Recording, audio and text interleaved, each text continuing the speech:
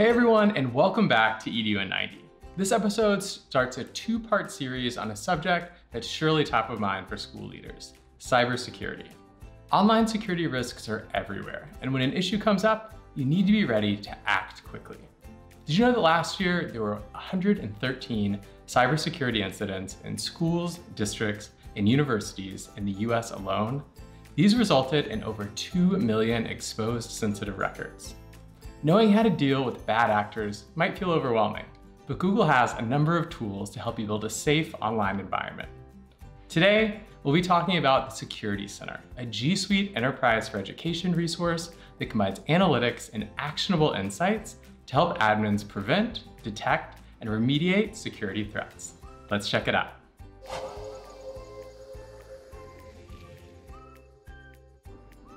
The Security Center is made up of three main components. First, there's the Security Health page, which helps you monitor and tighten security to prevent incidents across G Suite for Education and down to individual organizational units. Here, you can review and implement recommendations to improve security on an ongoing basis.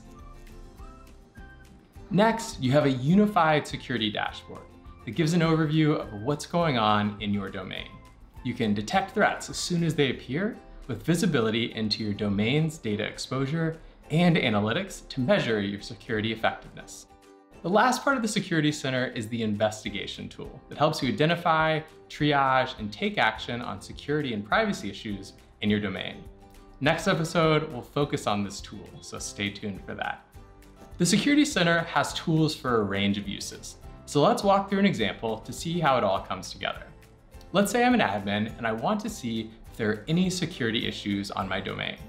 First, I'll head to the admin home screen, then to security, then dashboard to reach the security dashboard. Here, I can monitor a number of potentially suspicious activities. According to the 2018 Symantec Internet Security Threat Report, 71% of targeted attacks involved the use of phishing emails. So let's talk about how to spot a phishing email and what to do next. To do this, we'll take a closer look at a phishing email that was sent to the spam folder of someone on my domain. I can see from the dashboard that the suspicious email was sent on February 15. I'm able to get a larger view of the graph and filter the information in a number of ways.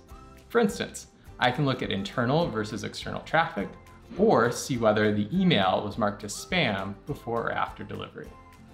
Then I can click on the graph to reveal the email's subject line, as well as who sent the email, who received it, the sender's IP address, domain, and more.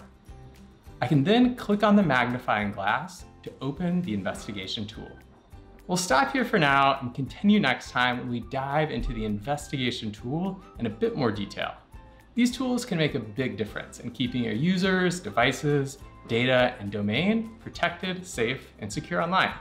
In the comments section below, let us know about your cybersecurity experiences, and don't forget to subscribe to the Google for Education YouTube channel. We'll see you next time. Looking for the latest from Google for Education? Check out our last episode to learn about tech resources for families, a new Teacher Center course, and much more.